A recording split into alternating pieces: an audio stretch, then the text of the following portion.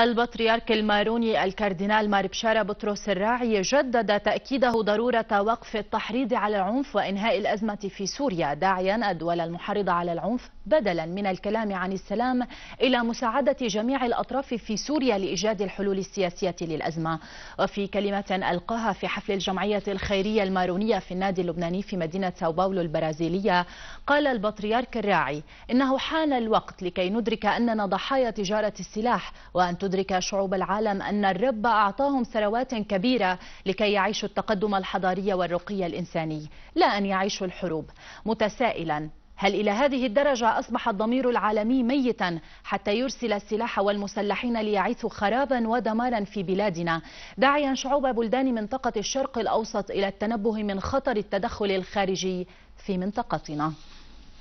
المسيحيون المشرقيون يقتصرون عيدهم عيد الفصح بصلوات وقداديس ليعم السلام في بلدهم سوريا. ويؤكدون أن العدو الإسرائيلي المجرم لا يحترم قدسية هذا العيد فيما ارتكبه من حماقة في عدوانه صباح اليوم على ريف دمشق.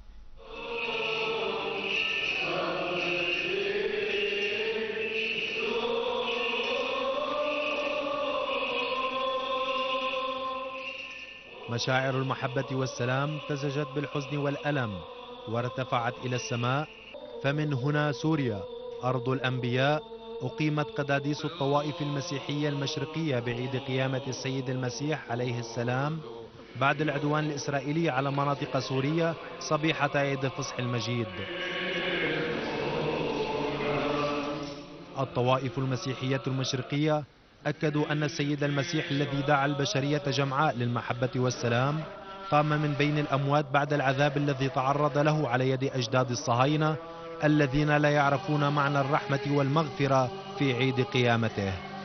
عيد قيامة السيد المسيح رسول المحبة والسلام هو عيد لكل السوريين وعيد الفصح المجيد هذا العام يحمل معه بشرى قيامتين قيامة السيد المسيح وقيامة نصر الشعب السوري على الإرهاب الدخيل.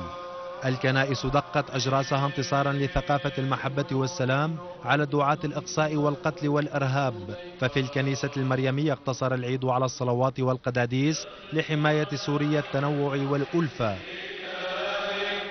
رجاؤنا في زمن القيامة هذا أن يعيد الله إلى وجه بلدنا الحبيب سوريا البسمة حتى توزعها على أبنائها فرجا وسعة عيش وطمأنينة وأمانة وأن يعيد هذا العيد على أبنائنا أينما ولدوا تعزية وأملا وفرحا.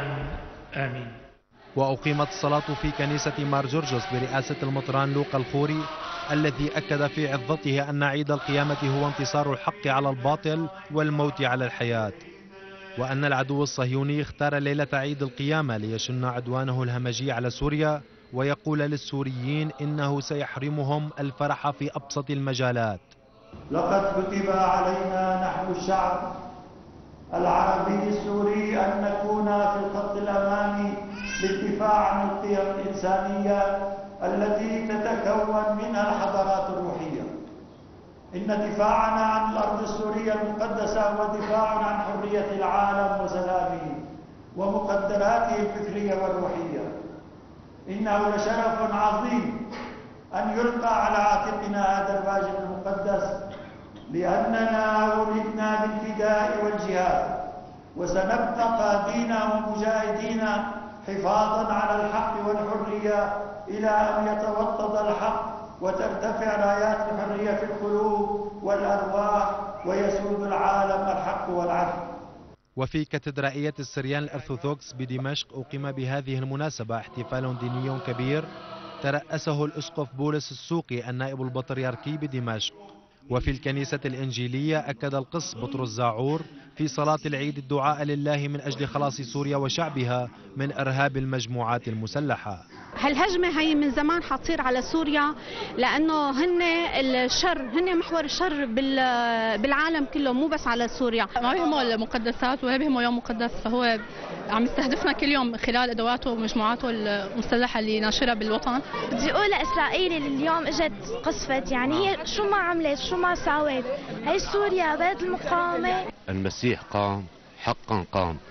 بعد الآلام بعد الآلام القيامة.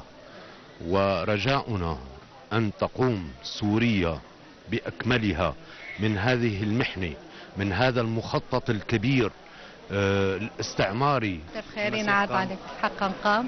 ينعاد عليكم بالخير والمحبة والسلام. وإن شاء الله سوريا هيك آه، نشوفها بخير وبسلام هالسنة ونخلص من هالأزمة اللي ما تعودنا عليها ابدا. يعني إسرائيل ما أنا غريبة عليها متعودين نحن بالنسبة لإسرائيل لهالأمور عليها.